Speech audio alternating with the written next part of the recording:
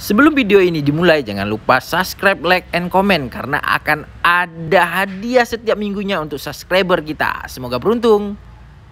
Assalamualaikum warahmatullahi wabarakatuh. Apa kabar sahabat Juragan Baju? Baik pada kesempatan kali ini kembali lagi bersama saya Najwar.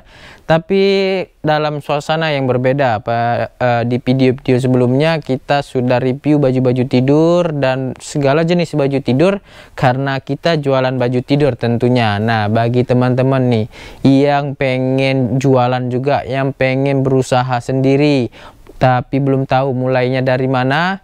Nah, ini sebagai saran ya sebagai saran saya kepada teman-teman karena saya duluan sudah pernah memulai usaha ini jadi saya tentunya lebih berpengalaman dalam hal jual beli baju.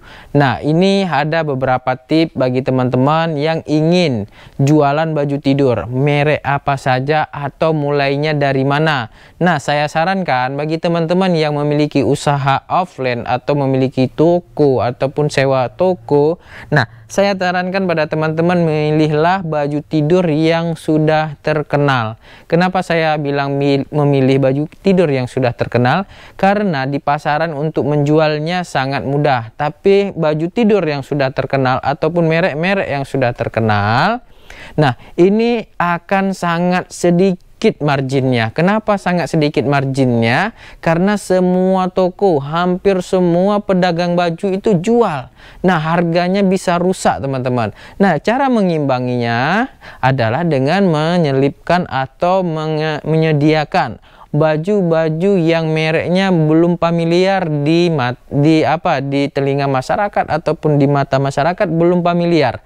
Nah, kita selipkan baju-baju tidur yang belum familiar dengan keuntungan margin di atas rata-rata. Nah, di situ kita bisa memulai usaha bisnis baju tidur. Tapi bagi teman-teman yang memulai usaha bisnis baju tidur melalui online ataupun marketplace lainnya, mulailah dengan baju tidur yang murah. Kebanyakan di marketplace itu tidak melihat merek. Walaupun eh, ada beberapa orang yang melihat merek atau melihat kualitas bajunya, pasti orang tuh langsung ke official store-nya langsung ya. Nih contoh saya mau beli kencana ungu nah, di sini. Nah, kalau di marketplace biasanya kencana ungu official store-nya sudah ada.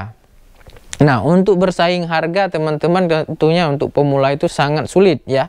Apalagi beberapa official store itu seperti Hoki and Sela kasih diskon ya. Sedangkan kita tidak. Nah, di sini saya sarankan bagi teman-teman yang mau jualan online, pilih baju-baju murah ya.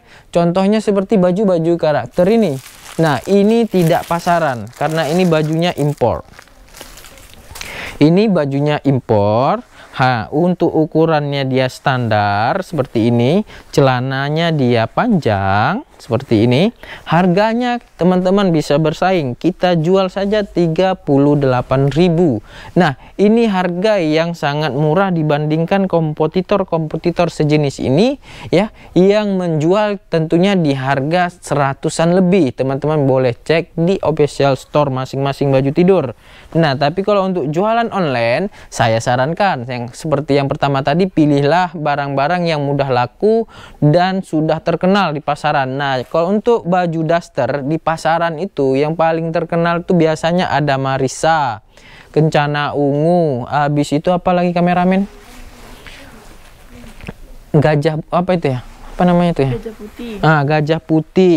Kalau di baju tidur standar seperti ini ada Tessa, ada Patricia, ada Dailyland, untuk ada Hoki Ensela.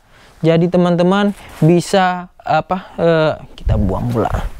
Bisa uh, memilih antara merek-merek tersebut. Nah, apabila teman-teman ingin gabung juga tidak uh, tidak hanya baju tidur boleh juga. Tapi kalau saya sarankan teman-teman kalian lengkapkan dulu baju tidurnya, jualan baju tidur online dan offline, insya Allah usahanya akan uh, maju ya yang yang kedua itu tentunya harus konsisten. Tidak boleh patah arang ya. Tidak boleh patah tengah.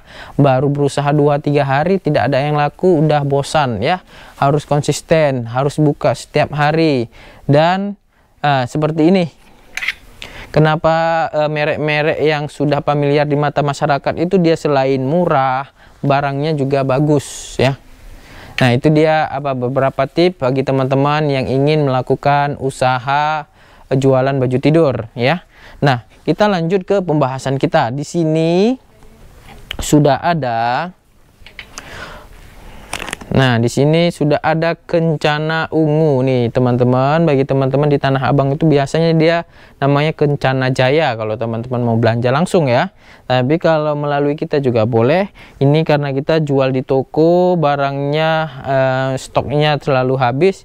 Jadi banyak yang nanya, teman-teman, ada stok nggak? Tidak ada stok ternyata ya. Kita tidak memiliki stok banyak.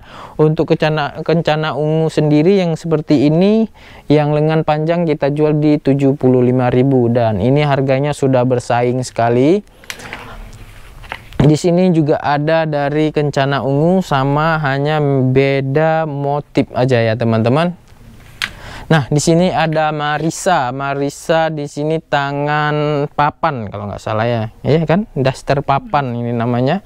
Nah, nah seperti ini biasanya kalau untuk Marisa dia 45.000. Kalau di merek lain ini biasanya kita jual di 26.000 ya deh ya. 20 26.000 karena di nah kalau teman-teman nih uh, mau beli online jangan tergiur dengan harga murah tadi ya biasanya yang harga-harga kita jual juga teman-teman boleh cek nanti di toko kita ada jual yang murah-murah. Tapi untuk kualitasnya Marisa lebih bagus dibandingkan tentunya dengan merek-merek yang harga murah. Tentunya ada kualitas ada ada harga ada kualitas ya tentunya ya. Nah di sini. Nah Marisa selain kainnya yang lembut ya warnanya yang cerah dia tidak mudah luntur. Kainnya ini lembut dan tidak mudah koyak. Untuk harganya masih 45.000 seperti ini ya. Ini untuk daster sudah uh, di kalangan premium ya ini ya kameramen ya. Ini udah kameramen uh, uh, orang gudang saya juga ini kualitasnya udah uh, jahitannya bagus kainnya juga bagus dan ini tidak kaku ya tidak kaku. Biasanya itu yang harga-harga 25 nanti kita akan review di video selanjutnya ya. Jadi stay tune terus di video juragan baju. Kita akan review semua barang jualan kita.